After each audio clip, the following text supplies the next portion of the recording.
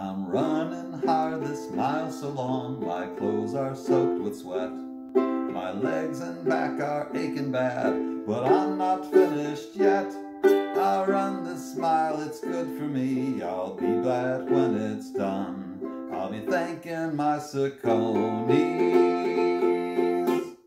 for taking care of me.